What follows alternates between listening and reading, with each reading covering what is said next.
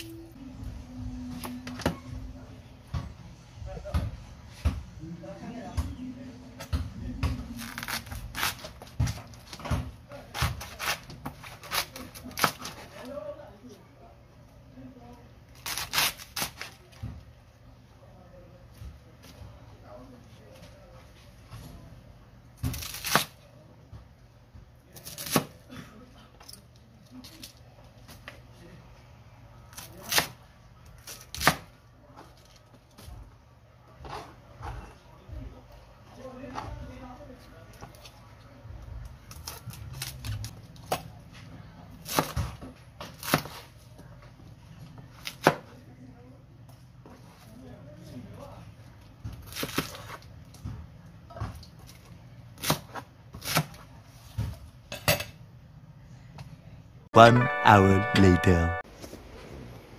Hello mga kapobre, magluluto tayo ng chicken. Pero yung chicken mga kapobre, pinirito ko na. Ah, ang gagawin natin, ah, ipiprito natin yung ating mga pangsahog. Ah, chicken with ano, ah, haluan natin ng repolyo at saka itong aking carrots, ano na to, ginisa ko na meron tayong sibuyas, meron tayong kamatis. Maraming kamatis mga kapobre kami para, para lumasa. Meron tayong bell pepper or at salba. Tapos bawang, may oyster sauce tayo. Tapos may patis. Ito namang ating sibuyas dahon. Spring onion, uh, ano, pang Ayan mga kapobre, magigisa na tayo. Unahin natin yung bawang.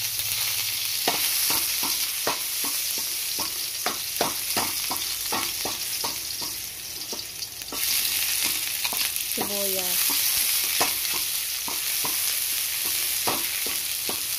Sharing lang mga kapobre itong aking ina-upload para malaman nyo kung paano ko to ginawa.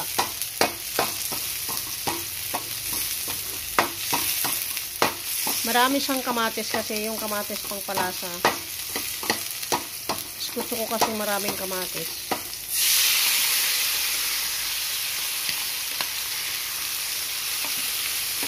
Pakatasin mo muna natin itong kamatis.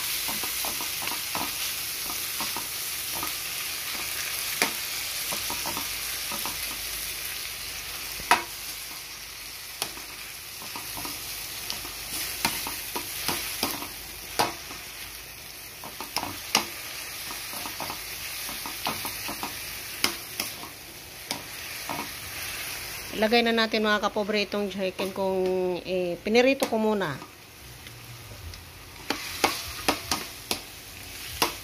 Halu-haluin lang natin ng mabuti para ano siya.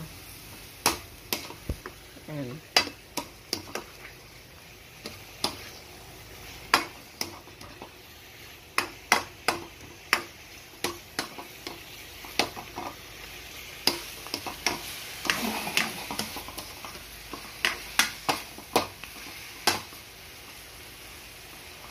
Add lang natin mga kapobre itong oyster sauce natin.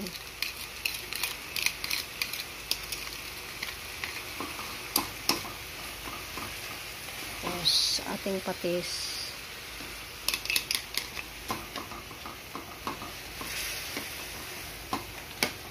Ating bell pepper.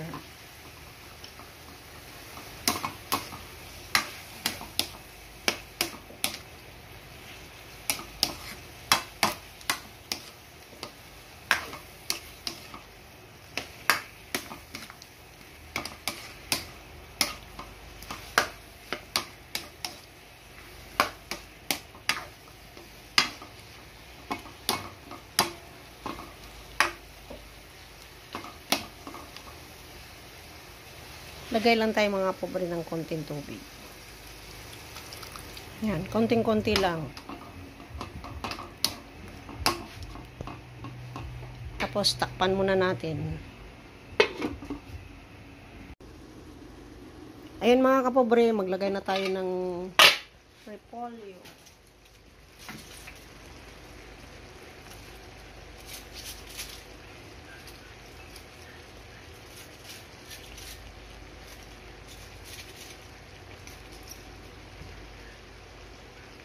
Tapos, isabay na natin tong ating carrots na ano. Ginisa ko na to para mabilis lang siyang maluto. Matagal kasi siyang maluto. Kailangan yung ginisa ko muna.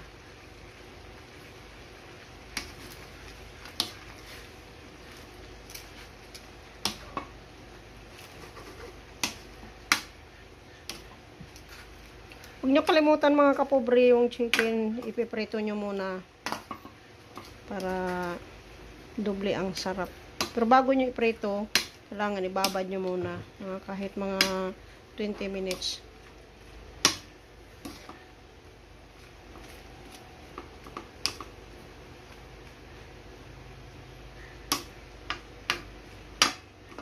Yan mga kapobre, takpang ko muna. Yan mga kapobre, luto ng aking recipe. Ah, pag subscribe mga kapobre ng aking YouTube channel, paki-click lang ng notification bell para kayo laging update sa aking mga bagong mga upload. Ah, sa akin namang page, paki-follow naman mga kapobre at paki-like lang. Ah, comment down below lang mga kapobre kung sino yung mga pa-shout out. Yan, luto ng aking ulam fried chicken na may halong ah, repolyo at saka carrot. Ah, mga kapobre, kunti lang dito ang ano gastos ko dito. Bili lang ka lang ng ilang pirasong ah, chicken wings tapos lagyan nyo lang ng konting ano repolyo at saka carrots. Ayun, ulam na. Lalo na sa panahon ngayon na sobrang hirap ang pera at ah, taghirap talaga. Kaya pwede na. Sa konting halaga, may ulam na tayo kasama ng pamilya. Makapag-ulam na. Kahit ito medyo madami. Pwede na rin ito i- dalawang beses iulam. Kaya, ayan mga kapobre, bye-bye sa inyong lahat. Bye-bye.